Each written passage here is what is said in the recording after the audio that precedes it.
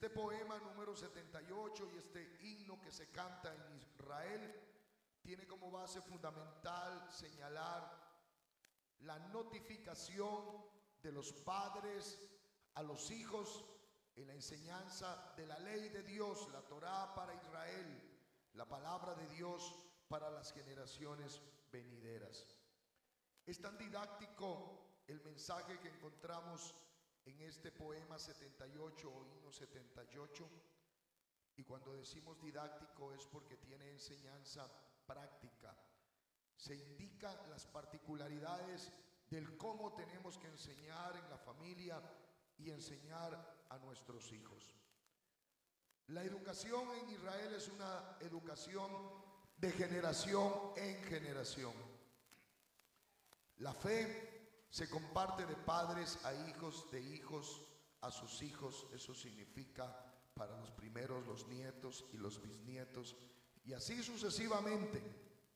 Cabe señalar en esta mañana y preguntarnos cada uno de nosotros, ¿la fe que nosotros tenemos es trascendente a alguno de nuestros familiares? Si usted fallece y si yo ya dejo la existencia, ¿morirá con nuestra muerte también la fe? Esa es la pregunta que tenemos en esta mañana. Usted maneja la fe, está caminando en el Señor y lo puede estar haciendo muy bien. Se siente contento con el Señor y las bendiciones que Dios le ha dado a su vida. Pero si usted llega a fallecer, ahí se termina su fe.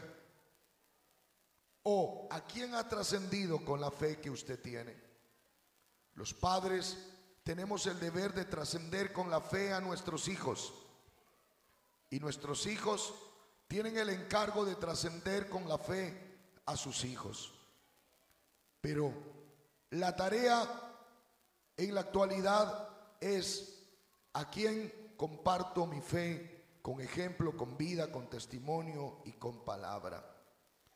Israel mantiene la fe dos mil años antes de Jesucristo con Abraham, el padre de la fe de Israel y también padre de la fe en el Dios único, invisible, santo y poderoso. De Abraham se toma la fe incluso el pueblo cristiano evangélico. ¿Por qué? Porque se habla de nuestro padre Abraham por la fe no por el linaje hebreo, sino porque él confió en Dios y su pensamiento en el único Dios es el pensamiento también ahora de nosotros cristianos. Dos mil años antes de Cristo Abraham, dos mil años de Cristo hasta estos nuestros días son cuatro mil. Cuatro mil años de fe en la familia hebrea, en el Dios único, invisible y todopoderoso. Quiere decir que las palabras de este salmo son trascendentes y son reales. ¿Qué se le comenta a Israel y qué se le dice para mantener la fe de generación en generación? Dice el verso 3, las cuales hemos oído y entendido. Generalmente queremos imponer la fe y a través de las guerras de religión se quiere imponer la fe. Pero el cristianismo como posición valedera para la sociedad no es la imposición por la fuerza, ni por la violencia, ni por la guerra. Es al contrario la enseñanza de una fe viva que se respeta, que se considera, que se tiene temor, que se tiene reverencia y que todo se lo mantiene por amor al Dios eterno y glorioso. Entonces, aquí podemos comprender que muchos de los que no quieren seguir el camino de la palabra de Dios es porque no oyen la palabra y tampoco la entienden. Hay que tomarse tiempo entonces nosotros como padres para enseñar la fe a nuestros hijos. Y la Biblia dice que tenemos que enseñarles. Ellos tienen que oír la palabra de Dios y tienen que verla reflejada en las acciones de nuestras vidas. Enseñar la palabra de Dios es demostrar, es mostrar cuál es nuestra fe a través de nuestros actos de vida. No podemos hablar de un Dios santo si nuestra vida como padres hace mucha falta el apartarse, el separarse, el consagrarse para Dios. No podemos hablar de un Dios santo y glorioso y puro si los padres andan en inmundicia.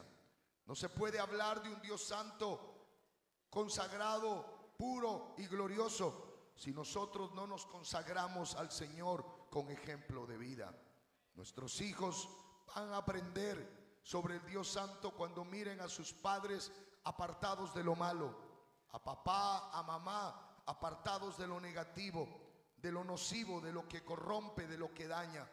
Cuando los hijos miran coherencia en las palabras y en las acciones, entonces respetan la fe de los padres. Pero cuando los hijos miran en las palabras, incoherencia en las acciones, molesta a los hijos lo que los padres le están diciendo con las expresiones o palabras. Por eso la palabra de Dios dice aquí, las cuales hemos oído y entendido.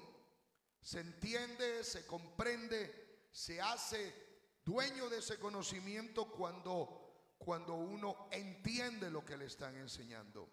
Un llamado a los hijos y a las hijas en esta mañana en el nombre de Jesús a entender la palabra de Dios y al Dios de la Biblia. Que Dios nos enseñe a través de la lectura de su palabra, que lleguemos a recibir la revelación del Señor y esa revelación en el Dios único nos mantenga firmes, constantes y fieles al eterno Dios. Démosle la gloria, la honra y la alabanza a Él. ¿Quién tienen que contar estas maravillas? Nuestros padres, que nuestros padres nos las contaron papá y mamá. Ciertamente nuestros hijos ahora que nos ven en el camino, nos ven como hombres píos, correctos, nos ven como personas que estamos en la casa y salimos a un templo. Pero ellos no han oído la vida incorrecta, inmoral, desordenada, desorientada que antes se tenía sin Cristo. Es necesario que nos tomemos el tiempo para hablar con ellos y decirle, hijo e hija, la vida que hoy llevo no era la vida que tenía antes. Tu padre vivía en desorden. Tu padre vivía esclavo de alcohol, drogas, desórdenes, peleas y un sinnúmero de cosas que son negativas y malas ante los ojos de Dios y la sociedad. Pero un día Cristo llegó a nuestras vidas y nos salvó. Por eso digo que este salmo es didáctico, porque enseña que los padres les contemos a nuestros hijos, les contemos las maravillas del Dios al cual servimos. No las encubriremos a sus hijos, contando a la generación venidera las alabanzas de Jehová y su potencia y maravillas que hizo. Tres palabras Vamos a contarle a nuestros hijos cómo es Dios alabado en nuestras vidas. Todo el que sigue ahora en el, en el hacer cristiano a Cristo Jesús, lo seguimos porque tenemos razones para hacerlo. Él es nuestro Salvador. Y la palabra Cristo Salvador quiere decir para nosotros que lo salvó, que lo ayudó, que lo rescató de una enfermedad incurable que lo rescató, lo salvó, lo ayudó de un vicio que lo tenía encadenado, que lo salvó de los tentáculos de las inmoralidades sexuales, que lo salvó de el pecado y de lo malo. Cristo es el Salvador de nuestras vidas. A Él dele la gloria, la honra y la alabanza a su nombre santo. Y le contamos que Él tiene poder, que Él tiene autoridad. Les contamos a nuestros hijos que no hay Dios como nuestro Dios, fuerte, celoso, poderoso, santo y bendito, y que a Él hay que servirle con temor y temblor, y que a Él hay que servirle de lo mejor del corazón, y que a Él le servimos con toda la fuerza, con todo el alma, con todo el corazón. A Él sea siempre la gloria y la honra. Y cuando hablamos de este Dios poderoso, santo y bendito, se regocija nuestro corazón porque no hay nada imposible para nuestro Dios. Él tiene todo el poder y toda la autoridad. Él hace maravillas, maravillas. Él hace maravillas, estupendas maravillas. Llama la atención lo que Cristo Jesús hace en beneficio de nosotros. Contémosle a nuestros hijos las maravillas que Él hace. ¿A cuántos de nosotros nos tomó siendo insignificantes en la vida y le ha dado un nombre a nuestra familia y a nuestros hogares? Hoy proclamamos su nombre él nos tomó de la miseria, Él nos tomó de la orfandad, Él nos tomó del dolor, de las enfermedades. Él hizo maravillas allí sanando en hospitales, en clínicas. Él rescató a muchos de las cárceles, de las prisiones físicas y también de las prisiones espirituales. Él tiene todo poder para liberar de la brujería, hechicería a las personas. Él tiene el poder de restaurar familias, hogares y matrimonios. Él tiene el poder de hacer cosas maravillosas. Él tiene el poder de hacerte y convertirte en alguien que comunica el mensaje poderoso de Dios. Te enseñó a cantar, te enseñó a tocar instrumentos que no los hacías ni los conocía. A muchos les enseñó a leer, a escribir, a interpretar palabra de Dios y también a predicar. Y ahora tenemos un nombre que es sobre todo nombre, el nombre de Jesús. Y somos declarados hijos de Dios. A su nombre sea la gloria. Él hace maravillas. Él estableció testimonio en Jacob. Eso quiere decir que estableció una familia como es Israel y le puso su ley en esta familia de Israel. Si tomamos este verso 5 didácticamente para nosotros, Dios quiera que en nuestra familia Él establezca su ley y sus mandamientos. Qué lindo es tener un hogar en el cual se deja guiar de la palabra de Dios. Donde está el Señor hay libertad. Donde está el Señor hay paz. Donde está el Señor hay bendiciones. Donde está el Señor la vida de la familia es diferente. Donde está el Señor hay coherencia. Hay soberanía de Él. Hay orden. Hay disciplina. Hay plenitud. Donde está la presencia de Dios se evita lo nocivo y lo contaminante. Donde está la presencia de Dios se alejan los vicios, los desórdenes. ¿Por qué? Porque habita la presencia del Señor en nuestras vidas. Muchas maravillas Él hace en nosotros y su testimonio está en nuestra familia. Sus apellidos y sus nombres que puedan mantener el testimonio de Dios. Que se hable, queridos hermanos, de nuestra familia como una familia fiel que se hable del padre que inició una fe y que sus hijos se mantienen en la fe y que sus nietos se levantan con poder. Qué lindo es mirar a ese padre, abuelo que le sirve a Dios, ese hijo que le sirve a Dios, esos nietos y bisnietos que le sirven a Dios, que se levanta un ejército de cantantes, músicos, adoradores, predicadores, servidores, siervas de Dios y que dicen de dónde viene, viene de esa casa. Asimismo como en la casa de David se estableció permanentemente la bendición para la casa de Israel, para la casa de David, para la casa de Isaí. Y cuando se hablaba de Se dice, él es hijo de Isaí. Eso significa que su padre y su madre eran hombres y mujeres de fe Qué lindo ser llamado hijo de Dios, hermanos, y pertenecer a una familia donde hay temor al Dios eterno. Dele la gloria, la honra y la alabanza.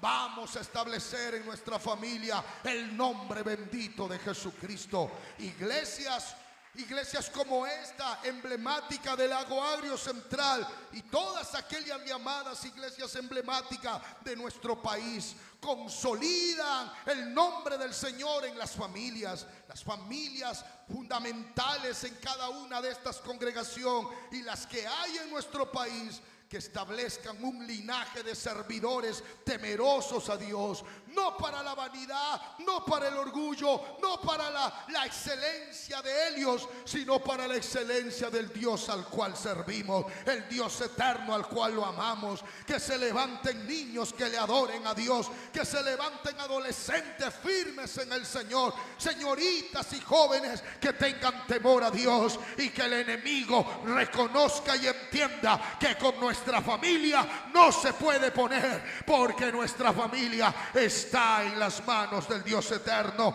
y sus mandamientos están con nosotros. Dele la gloria al Señor Jesús.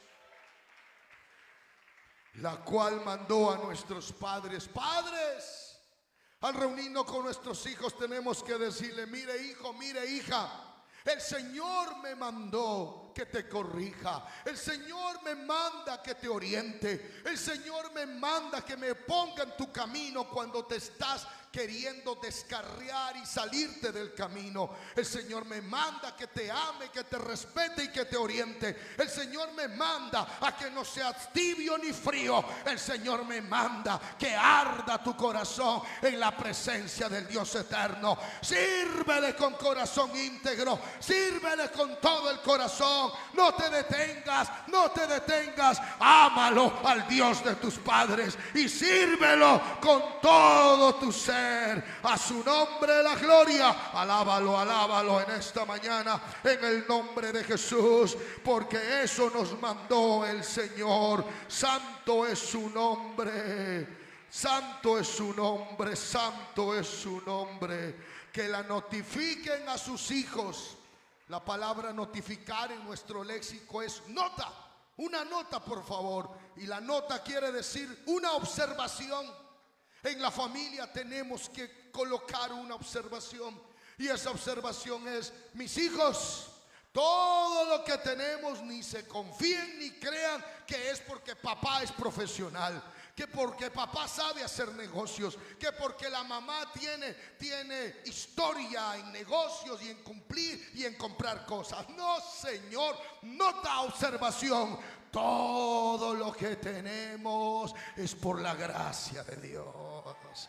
Todo lo que somos te has preparado, nos hemos estudiado, porque nuestros padres nos formaron, nos ayudaron oh, has llegado a ser profesional y tienes más títulos, es porque puedes, es porque sabes, es porque a ti te gusta la academia, es porque tú resuelves los problemas, oh, qué bien. Y ahí uno tiene que decirle a nuestros hijos y a nuestras hijas, cuando ellos comienzan a contemplar diplomas y títulos y placas y reconocimientos de instituciones, pero papá, pero mamá, pero mira cómo lo han logrado, mi hijos y mi hijas, Nada somos sin el Cristo poderoso. Todo lo que tenemos a los pies de Cristo. La nota es, la nota es no dejemos de exaltar y alabar a Cristo, porque todo lo que tenemos es por su gracia. Lo que compramos, lo que vendemos, lo que adquirimos, lo que tenemos, ese medio de transporte, esa casa elegante, fina, esa villa, ese terreno, ese lote, lo que tenemos, lo que permite que la tierra fructifique, lo que hacemos, todo es la gracia de Dios. Anótalo, hijo. Anótalo en el corazón. Y que no caiga en la tierra, sino en tu corazón. Lo que somos, se lo debemos todo a Cristo. Del aplausos a Él. Aplausos a Él. Aplausos a su nombre santo. Exáltelo para que sepa la generación venidera y los hijos que nacerán Qué hermoso. Y los hijos que nacerán la generación venidera. Un llamado a nosotros padres para hablarle a nuestros hijos y nuestras hijas. Un llamado del siervo pastor a solteros y solteras. Piénsalo, que con quien te comprometas, glorifique a Dios. Piensa que el hombre que llegue a tu vida y te haga hijos, glorifique a Dios. Piensa que la mujer que se une a ti, joven, glorifique a Dios, porque en esta Israel, aún siendo solteros y solteras, pensaban que si se unían a alguien era para exaltar y alabar a Dios. No nacen los hijos en Israel y ya los están poniendo en sus propósitos. No nacen todavía los hijos y ya están pensando en decirle, si mi hijo nace, cuando me lo pase, entonces el médico y me lo ponga en la mano a mi bebé, a mi niño o a mi niña le voy a decir al oído, oye Israel, el Señor, nuestro Dios, el Señor, uno es. Y estas palabras que te mando yo hoy estarán sobre tu corazón y las enseñarás a tus hijos. Dele la gloria al Padre eterno. No nacen, no nacen los hijos en Israel. Y ya dice, a los que nacerán se les enseñará también a la generación venidera que solo hay un Dios santo, poderoso, glorioso. A su nombre la gloria. Y los que se levantarán lo cuenten también a sus hijos. Mire cómo es esto de hermoso. Esto es lindo. Por eso en cierta ocasión, mientras predicaba la palabra de Dios y hablaba en términos de, esas bendiciones para solteras convertidas en madres, terminé entonces de predicar y al, y al hacer esta oración, la señorita que estaba en el orden de la música estaba orando, pero ella se colocaba sus manos en el vientre. Y a lo que terminé hablé con ella y le dije, disculpa, cuando estaba orando por la familia y te vi que tú te ponías las manos en el vientre, ¿por qué lo haces? ¿Estás enferma y estás poniendo allí porque la dirección de la oración a la salud que tú quieres? Y me dijo, no, pastor, solo que yo soy una joven soltera. Y puse mis manos en mi vientre para decir, si un día me permites casarme, que sea con un hombre que te sirva, Señor. Y el día que me permitas casarme, pues en este vientre quiero bendecir a mi hijo para que cuando él nazca yo le enseñe el camino. Los días pasaron y al tiempo me miré en una convención y al mirarme en una convención, la joven madre llevaba en su mano un niño y también estaba allí un joven. Entonces Elia con mucha alegría me detuvo el camino y me dijo, pastor, predicador, ¿se acuerda de mí? Le dije, si me haces acuerdo, entonces recordaré qué sucede. Y me dice, ¿se acuerda de la chica que se puso las manos en su vientre? Le dije, sí, sí me acuerdo ese caso. Yo soy, este es mi hijo y este es mi esposo pastor, servimos a Dios en el ministerio. Mi esposo en el ministerio como pastor y mi hijo es la bendición de nuestro hogar sirviendo al Señor. Gracias, pastor, porque cuando se hacen oraciones de profunda fe hacia la generación venidera, le estoy presentando que estoy formando a mi hijo en el camino del Dios eterno. En esta mañana el poder del Espíritu Santo de Dios está hablando con solteros y con solteras.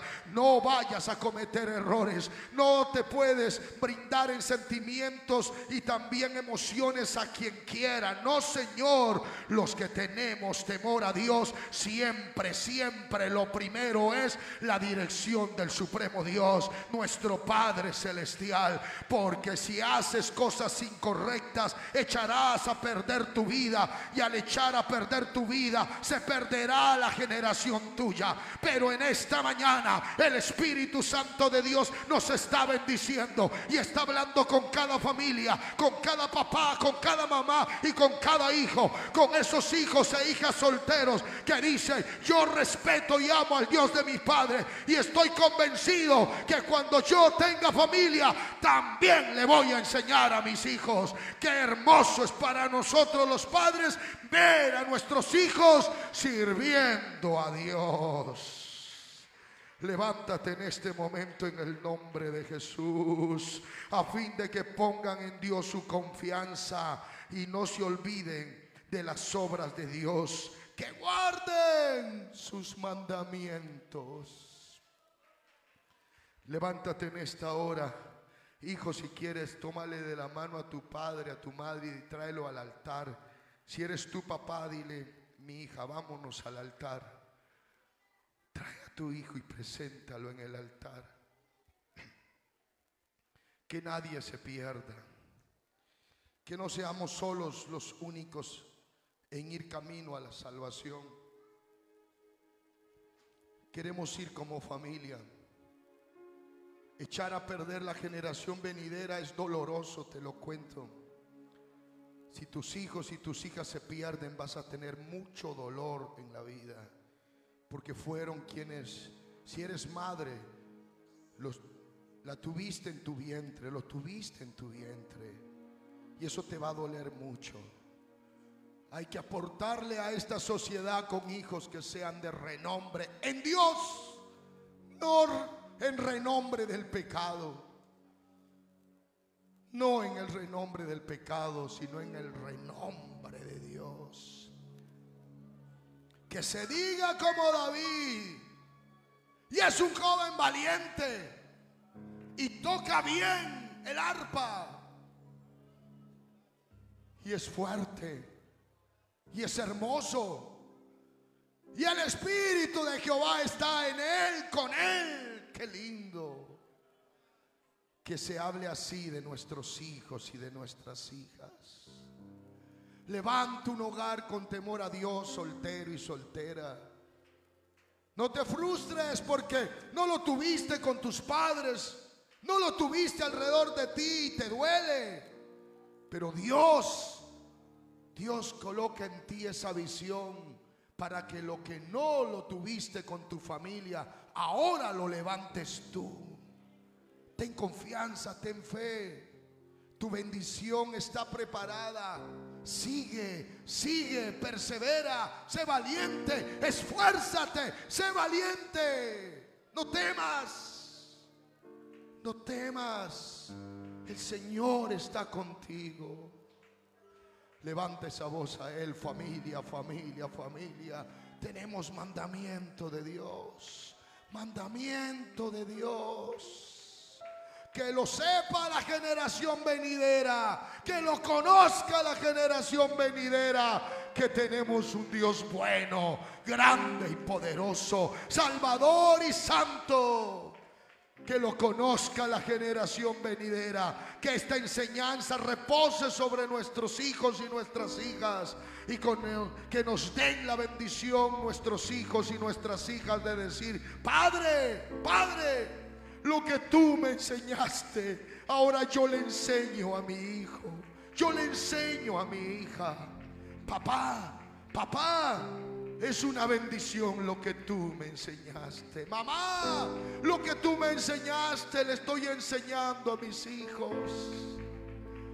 Y cuando nazcan los hijos de los hijos, qué hermoso mirar, verles como alaban y adoran a Dios y que se hable de nuestra familia como una familia de renombre, de siervos y de siervas que aman a Dios, que aman a Dios, que aman a Dios para poder declarar que en mi casa el Señor es Jesucristo. La iglesia en el Ecuador necesita de familias de renombre en Cristo Jesús.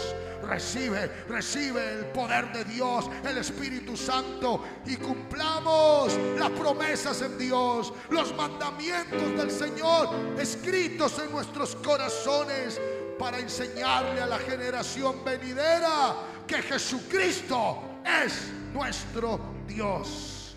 Padre eterno, Padre eterno, te damos gracias, te damos gracias. Bendiciones a la familia, bendiciones a los oyentes, a los que están mirando, Señor, a través de las redes.